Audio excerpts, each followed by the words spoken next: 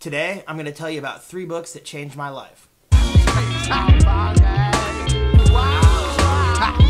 What's up, guys? Flowsive Floke, not most people. Um, I don't know about you, but I've had a lot of free time on my hands lately, and while I love binge watching Netflix and trying to impregnate all the women in my Sims 4 neighborhood, I also gotta do some stuff so I don't feel like a complete piece of human garbage. Reading is one of the best things that I know how to do to counteract that feeling and whatnot and to combat it. So I thought I'd go over a list of books that changed my life. Now, all the books that I talk about in this video, there will be links to them in the description of this video. Obviously, it's YouTube, it's 2020, y'all know that, but I'm gonna say it anyway, just so you know. You know what I mean? You may have noticed Vintage Ty is not behind the camera, and don't worry, these videos will be in addition to the content Vintage Ty and I make together as Not Most People, so you're still going to get those videos. Don't worry about that, they're coming. Um, that being said, why don't you do us a favor? Hit like, hit subscribe, hit comment. If you want to support the channel, head on over to darkmedicine.com and pre-order our newest t-shirt we just dropped. It's a super sick design inspired by vintage country music merch that we had our friend Sambergini, uh, that we had our friend Sambergini whip up for us. Um, I'm trying to sell 500 of these fuckers, so if you can help me reach that goal, I'd appreciate it. All right, let's get into this video. Confessions of an Advertising Man by David Ogilvy. Um, this first book might not seem very applicable to your life, but if you are in any way, shape, or form a creative person trying to make a living off of like being creative, I assure you that it is. Or even if you're just someone trying to build a business or like a personal brand or whatever, you're gonna learn a fucking ton from this book. But the first thing you're probably wondering is who the heck is David Ogilvy? Um, David Ogilvy was an advertising genius, Scottish dude, worked on Madison Avenue in New York back in the day. Uh, many people consider him the father of modern day advertising people like to say the character of Don Draper in Mad Men was based on Ogilvy. Um, I think inspired or like people like Ogilvy and like that whole era that he exhibited inspired Mad Men just in general. Uh, that would be a better word for it. But you know, that's still pretty epic. You know what I mean? So why did this book change my life? Mm, it really made me rethink what it meant to be creative. And it gave me a lot of confidence to be creative and it made me really view my creativity as something that is valuable, that has value. And that is just amazing. The book is just like full of like nuggets of wisdom from like Ogilvy about different ways to do things and he may be talking about this totally different thing, but you'll see something and you're like, "Oh, that would totally work in this other part of my life or whatever."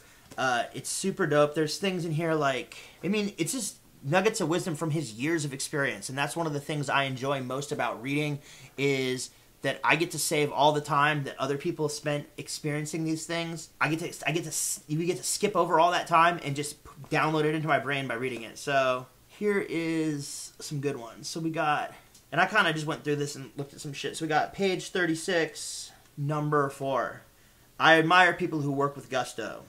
If you don't enjoy what you're doing i beg you to find another job Remember the Scottish proverb, be happy while you're living, for you're a long time dead. And that's a good one. And then we also got page 116, numero 10. Every advertisement should be thought of as a contribution to the complex symbol, which is the brand image.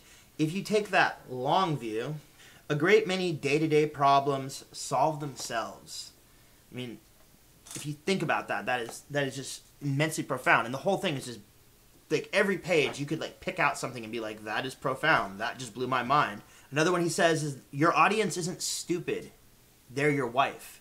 Treat them with the same respect that you treat your wife you know? And that's insane i i mean i even find myself guilty of that because if if i read like my worst comments and i start assuming that my entire audience is is is is that dumb as like my worst comments i don't actually think that but it, it's easy for me to sometimes like slip into that and start talking like because I assume that everyone is stupid as like the worst commenter when that's not true at all. Y'all are super smart, and I need to treat you like that and respect you because that's one of the reasons that I even have an audience is that we've built like this mutual respect. And a lot of it might even be self obvious, but it's just like kind of seeing it written down is like a good reminder. The book is is immense. The, the things talked about in the book are immensely applicable to social media. Most of the rules that he makes for older forms of advertising hold true when applied to like modern times. uh, it, just with like tiny minor shifts in, in perspective, it's easy to see how things that he described for print media, which is now kind of pretty much a dead form, those same principles ring true within let's say Instagram stories. And so th- there's a lot of jumps that can be made from things he said. There's also a bulk of anecdotes about getting clients, managing people, uh, business etiquette, his failures, and like what lessons he learned from his failures. You know, folky wisdom, and they all kind of clearly illustrate effective strategies to deal with a lot of issues that come with being like a professional creative person. And I go back to this book over and over again. Also, this whole section on how to write effective copy, and it'll blow your wig back if you let it. Um, you might not be familiar with what copy is, like most of you are, or some of you might not be. But if you've ever written like an Instagram caption, you've written copy.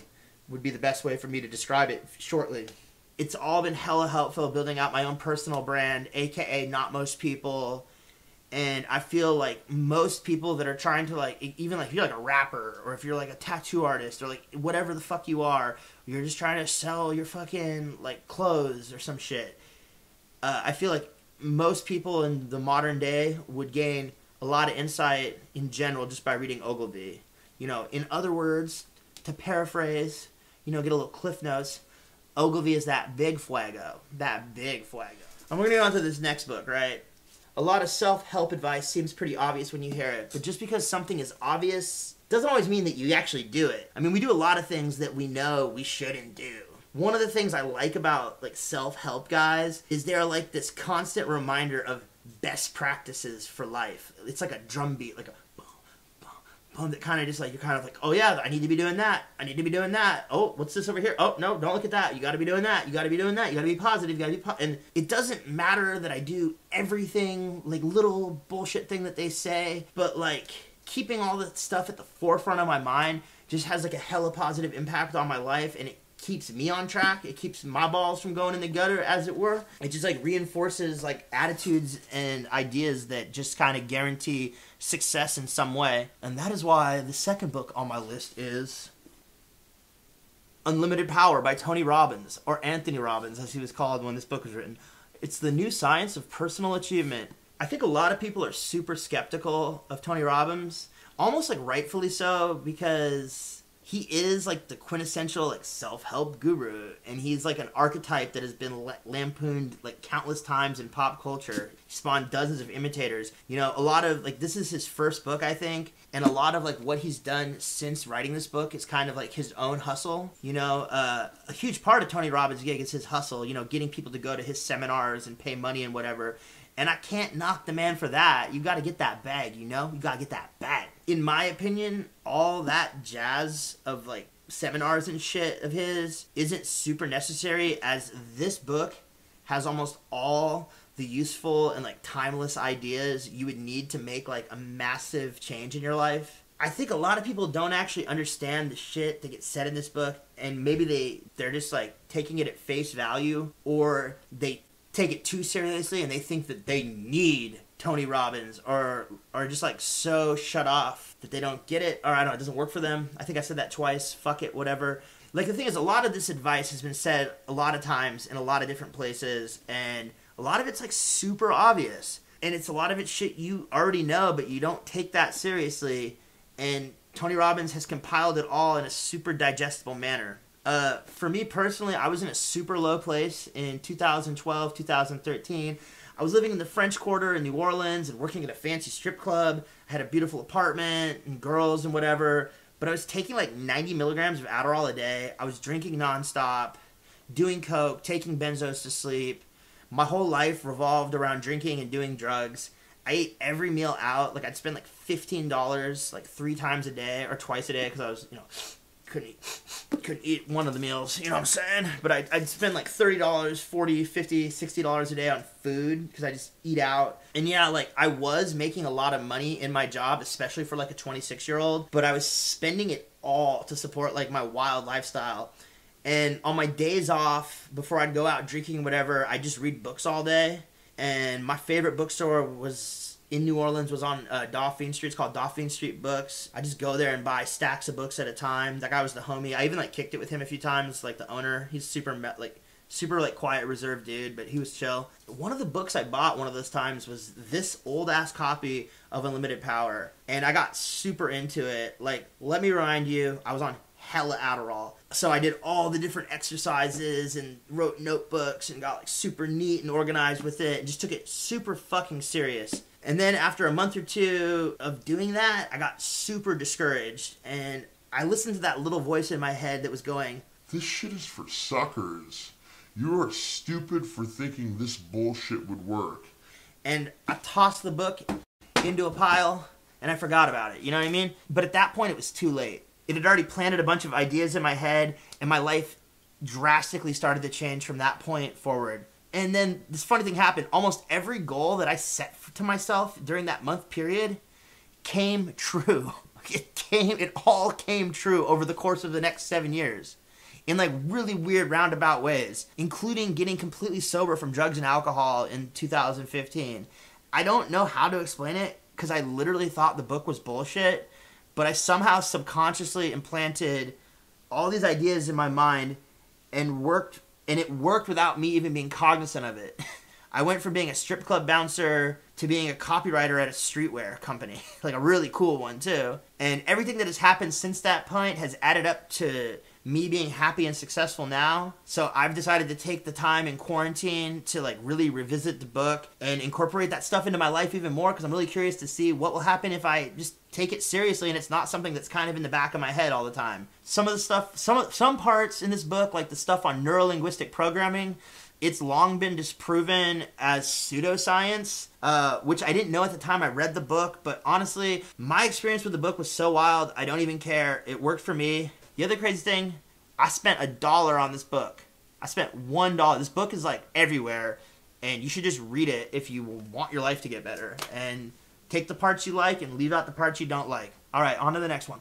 This last book, I was gonna talk about a different book, but a few people recommended that I not talk about the book that I wanted to talk about, and I kind of saw where they're coming from. But this is the book that got me to the book that I want to talk about, but I can't talk about it because if I talk about that other book, and then I was to go out tomorrow and smoke a bunch of crack, you might say that that book didn't work, and that wouldn't that wouldn't be true. So I can't talk about that other book. Enough with that. This book is great. It's called A Drinking Life. It's by Pete Hamill. Pete Hamill evokes a New York that exists today only in memory. Read it and you feel the asphalt sticking to your shoes in a summer stickball game in the cooling shower of an open fire hydrant. It's about this dude that grew up in Brooklyn and became a writer. He was an Irish dude. He had a really gnarly drinking problem and he quit drinking you know, after years of like fucking his life up. He did it without any help. He did it with his own willpower, which is something I found that I can't do. Like I needed like some help uh quitting drinking and stuff. Even just this book showing that it was possible for someone to like live and, and the way he described growing up like drinking with like the older dudes in his neighborhood. Like i drank with the older dudes in my neighborhood and there was like kind of tough guys that like i looked up to that i thought were super badass and i wanted to be like them. And that whole thing like i super duper like related to or whatever and i just related to so much in this book. But the idea that he, he got sober and his life got better